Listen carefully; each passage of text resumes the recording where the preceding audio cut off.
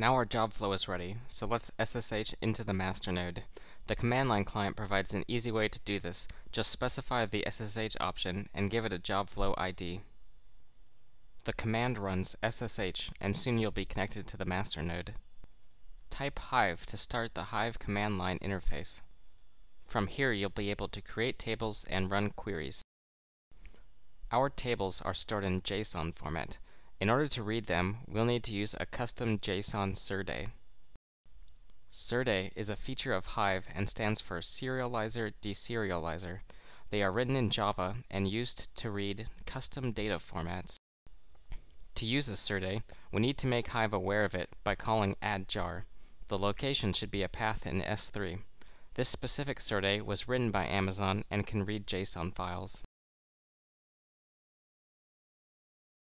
Now let's create some tables. First we can type show tables and see that none currently exist. I'm going to continue with the advertising company story. We have two tables that are published by our ad servers, one that logs each impression and one that logs each ad click. Every 5 minutes the servers roll their logs and upload them to S3. The tables are partitioned by time, so the ad servers have to stick the files in a specific directory with other logs from that time period. In order to read the table, Hive must know about both the partition format and the table serde. Let's go ahead and create the impressions table. You'll notice the create table statement is similar to those in relational databases, but with a few custom parameters. This is an external table, which means that Hive is aware of the table, but doesn't manage the underlying storage itself. I specify if not exists, so that Hive won't delete the table if it already exists. I'll define each of the columns and tell Hive about their type. This table is partitioned. By default, Hive overwrites the table upon insert, but if it is partitioned, then it can overwrite just one partition, allowing you to perform inserts.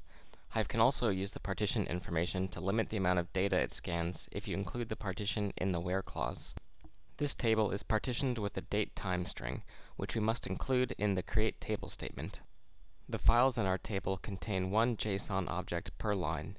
In order for Hive to read the table, we need to tell it to use our custom serde.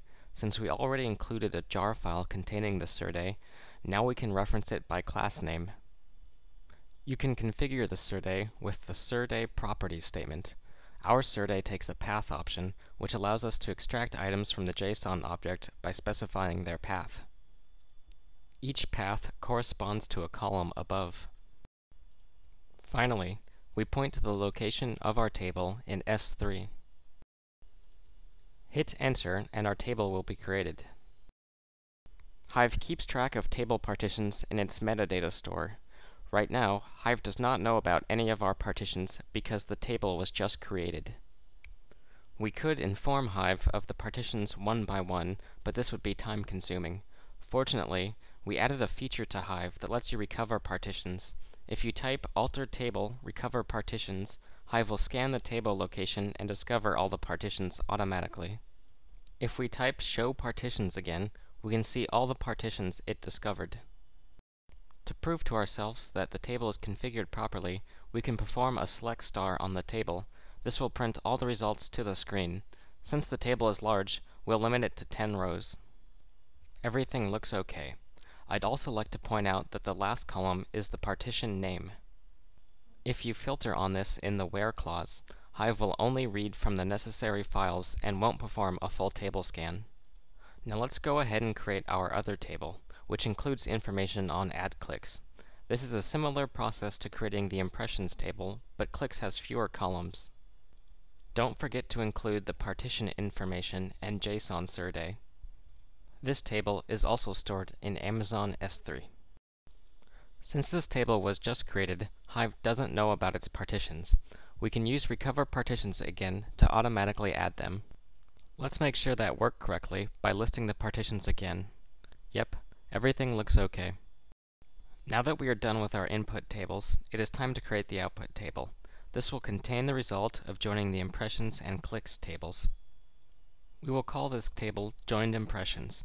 It contains all the columns from impressions, plus a new column called Clicked. Clicked will be set to true if that impression resulted in an ad click. This table will be partitioned on two values, day and hour. This allows us to schedule an hourly job which takes the last hour's worth of data from our input tables and inserts it into this table. Instead of using JSON, this table will be stored on disk in sequence file format. Sequence file is a storage container that ships with Hadoop and offers better performance and more compression than JSON.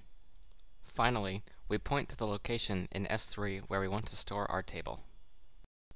This table does not contain any data yet, so there's no need to recover partitions. Now let's go ahead and create the query used to insert data into this table. We begin with a simple insert overwrite table. By default, this will erase all data in the table. However, our table is partitioned, so we can overwrite just a single partition. When inserting into a partitioned table, we must tell Hive which partition we are writing to with the partition statement. This statement takes a value for each of the table's partitions, which in our case is day and hour. We have told Hive where to put the data. Now we need to tell it where to read the data using a select statement. As Hive joins the tables, we would also like to perform a transformation on request begin time and convert it from a Unix timestamp into a human readable date. This can be done easily using some of Hive's built-in functions. Hive supports user-defined functions, so you can create your own as well. We will be joining the tables using a left outer join. The results will include every impression from our time period. If the impression resulted in an ad click, then the corresponding row from the clicks table will be included with the impression. Otherwise, the click will be null. This means we can set our clicked boolean by testing if the clicked row is null. We tell Hive which tables to read from and tell it to join them on impression ID. Finally, we limit our query to a certain time range using the where clause. Since we are filtering on the partition column, Hive should read only the minimum number of files necessary to retrieve our data. You may notice that the time range we are using for the clicks table extends 20 minutes longer than that of the impressions table. This is to take into account that clicks don't occur at the same time as the impression. Our software accepts clicks that occur up to 20 minutes after the impression. When I hit enter, Hive parses the query and compiles it into a series of MapReduce jobs. This is a fairly simple query, so Hive is able to perform all the calculations in one MapReduce pass. Hive automatically submits your job to the Hadoop cluster and waits for it to finish. Here we can see the progress of the map and reduce stages. I've sped up the video to make it go faster. Once the job has finished, we can look at our data to make sure it looks okay. Let's select just 10 rows so we can get a sense of the data. Notice how the clicked boolean is set in the table. Also, you can see the day and hour partitions in the results. If you look at the very first column in each row, you'll notice that the request begin time is now in an easy-to-read format and is no longer a Unix timestamp. I've just demonstrated a data warehouse-like query that joins data from two tables. I ran this in interactive mode and only processed one hour's worth of data. If you were using this query in production, you would use the Hive batch mode and have a scheduler that automatically submits steps to Elastic MapReduce. For more Hive examples within this use case, you can read the tutorials on our website at aws.amazon.com slash elasticmapreduce. Thank you for listening.